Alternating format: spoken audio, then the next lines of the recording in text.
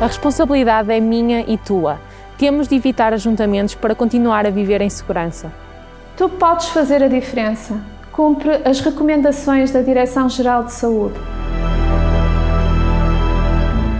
A vida continua, se a deixares continuar.